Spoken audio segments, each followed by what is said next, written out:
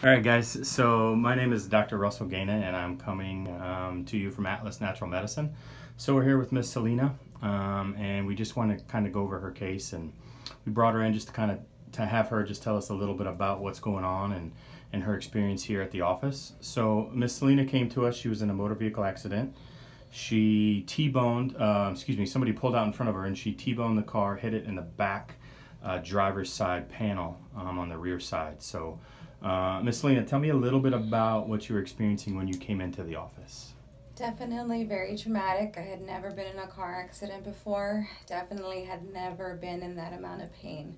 Had a lot of severe bruising from my legs hitting the dash, whiplash from seatbelts and everything like that is very traumatic. I never experienced anything like that and definitely going through the process of going to the hospital, getting x rays, more swelling and more pain.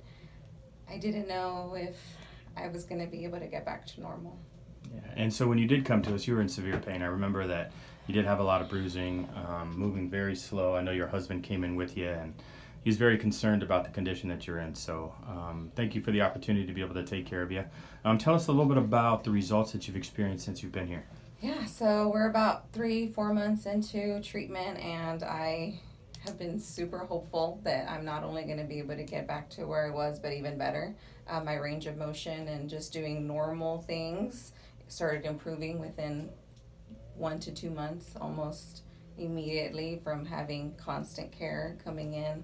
Um, God received a lot of education as to what my body was doing in recovery. So I feel like I had really great expectations from having a great team.